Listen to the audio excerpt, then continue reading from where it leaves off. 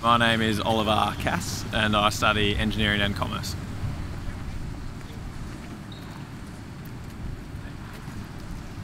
So originally I went to school in Byron Bay in the Northern Rivers area and then um, relocated down here and lived on campus so I could study at UNSW.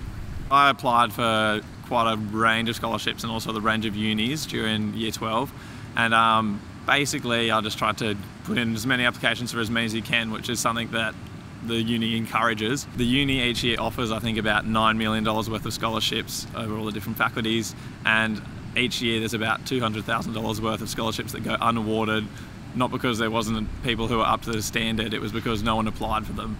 And so it's really, you've got to be in it to win it and you might, you'll be surprised, it's not just based on how smart you are, it covers so many other aspects other than that. Once they've looked at you're a capable student, then they look at are you a well-rounded student? Do you have extracurricular activities and leadership and sporting and all those sorts of things? And um, once you've got a scholarship, it is really the most useful thing you can have it allowed me to basically live down here and not have to work part time. I can just focus on my studies and also have time to have a social life because I'm not doing all that extra work I'd need to afford to be down here.